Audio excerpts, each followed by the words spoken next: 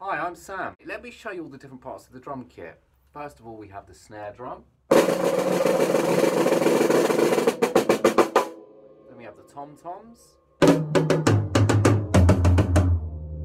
Then we have the kick drum here, which I play with my right foot. Then we have the hi-hats here, which I play with my left foot, plus my sticks.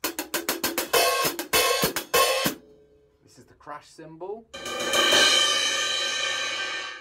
This is the splash cymbal. This is the ride cymbal. And this is another crash cymbal. Here's something you'll be able to play after having about 10 lessons.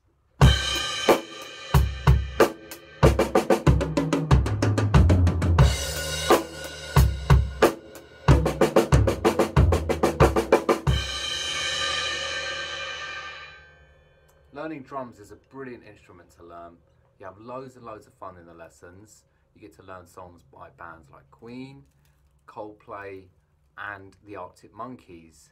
Plus, you have lessons in groups with your friends. And once you learn how to play, there's loads of playing opportunities because you could form a band with your friends, or you could play in percussion groups, or even orchestras. But I've got to say, the best thing about learning drums for me is that you get to hit things with sticks. I hope to see you at the lessons, guys. Take care.